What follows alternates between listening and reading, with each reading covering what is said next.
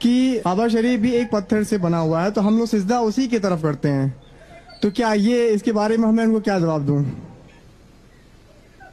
भाई साहब ने अच्छा सवाल किया। गैर मुस्लिम ने भी आपसे अच्छा सवाल किया।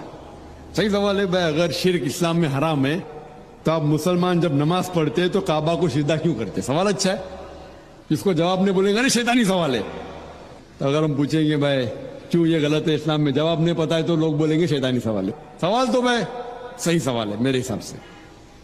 और ये सारे सवालों का जवाब आप अगर वेबसाइट पे जाएँगे I R F dot in में आम सवाल है कोई नया सवाल नहीं मेरे लिए आम सवाल है।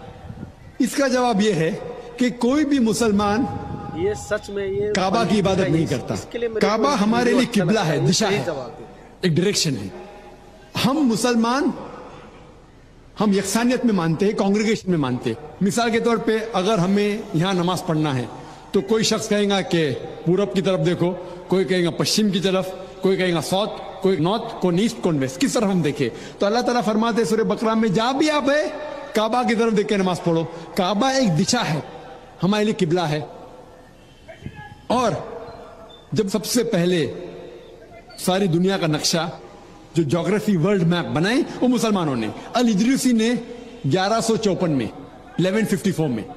और जब मुसलमान ज्योग्राफी वर्ल्ड मैप बनाते थे तो साउथ पोल ऊपर था और नॉर्थ पोल नीचे था और काबा बीच में था। ये वेस्टर्नर्स अंग्रेज़ लोग आए और मैप को उल्टा किया। नॉर्थ पोल ऊपर साउथ पोल नीचे बट फिर भी अलहमदुल्ला काबा सेंटर में ही है, बीच में ही है। तो दुनिया के कोई भी हिस्से में आप काबा की तरफ़ देख के आप नमाज़ पढ़ो। हम जब मक्का जाते हैं उम्रा के लिए या हज के लिए तो हम अच्छा काबा के गोल तवाफ करते हैं।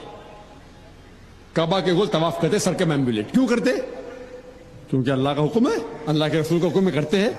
लेकिन लॉजिकली सोच सकते हैं कि हर दायरे का हर सर्किल का एक ही सेंटर है। एक ही बीच का ऐसा सेंटर एक है। तो हम जब तवाफ करते हैं गिरद घूमते हैं ये तस्लीम कर रहे हैं कि अल्लाह एक है। इसलिए हम तवाफ करते हैं। और जो हज़रत उमर रदिल्लाहु ने कहा काबा के बारे में, संग असवद के बारे में, वो सारी गलत फहमी दूर कर लेता है। हज़रत उमर रदिल्लाहु कहते हैं, सही बुखारी में ज़िक्र है वर्म नंबर टू किताब अल हज, चैप्टर नंबर 56 हदीस नंबर 675 में, हज़रत उमर फरमाते हैं रदिल्लाहु अन्हु कि ये संग असवद, ये काला पत्थर, ना मेरे लिए कोई अच्छा काम कर सकता है, ना बुरा। ना मेरे लिए बुरा है, ना मेरे लिए अच्छा है। क्योंकि मेरे रसूल ने इसको चूमा इसलिए मैं चूम रहा हूँ। नहीं तो ये काला पत्थर ना मेरे लिए कोई भलाई कर सकता है ना बुराई कर सकता है। ये ये अल्फाज दूसरे खलीफा हज़रत उमर अच्छा के काफ़ी है इंसानियत को बताने के लिए कि हम काबा को नहीं पूछते। और एक जो नुकता हम गैर मुस्लिम से कह सकते और जो मैं अक्सर कहता हूँ कि मोहम्मद सल्लल्लाहु अलैहि वसल्लम के दौर में कई साहबा काबा पे खड़े होकर आजान देते थे। मैं ये पूछना चाहता हूँ, कोई भी बुद्ध की इबादत करने वाला, जो बुद्ध की इबादत करता है, उसके ऊपर कभी भी खड़े नहीं रहेंगे। तो साहबाज काबा पे खड़े होकर हज़रत